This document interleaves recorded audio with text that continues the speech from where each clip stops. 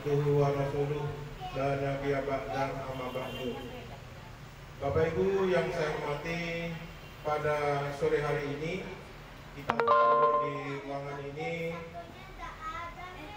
kita patut memanjatkan puji dan syukur kehadirat Allah Subhanahu wa taala Tuhan yang Maha Kuasa karena kita diberikan nikmat yang begitu besar khususnya adalah nikmat yang umur yang berkah tugas-tugasnya kemudian selalu berbahagia dalam menjalani kehidupannya Bapak Ibu rahimahullah jadi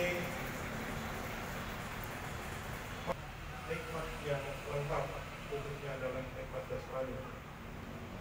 saudara-saudara kita juga anak-anak didik kita diceritakan oleh Allah Subhanahu wa taala ada yang kurang tetapi juga ada yang punya kelebihan. Nah, dengan mensyukuri itu berarti kita nikmat tersebut tidak hanya pertemanan hari ini adalah uparium yang baik biasa apa kepada Allah Subhanahu. Itu yang harus kita